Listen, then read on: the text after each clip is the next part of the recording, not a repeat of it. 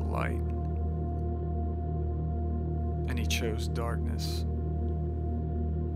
He knew love and chose lovelessness.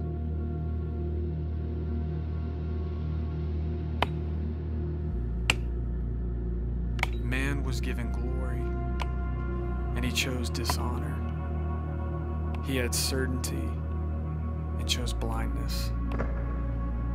Man was given rest, he chose hunger and wandering and longing. Man made a choice, and his choice was brokenness.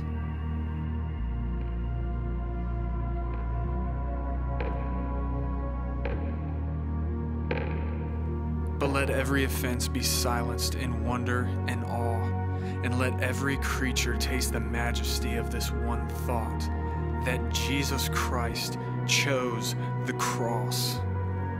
He stepped in, and although he had every right to renounce it, he placed on himself every lawless act, every single iniquity.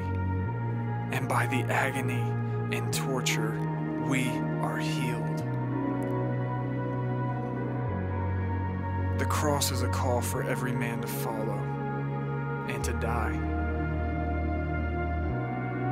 If anyone would chase after him, let him deny himself and take up his cross and follow.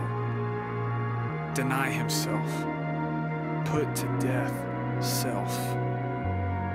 To rip out everything that has robbed us of our meaning, of our joy, and of our Savior. To turn from our self love, our overpromising passions, to live in a manner worthy of Calvary. See, the cross wasn't a criminal's death, it was a victor's chariot through which we can now follow Christ in trampling over death. But it starts in our heart. It starts with searching ourselves, putting an end to our miserable ways,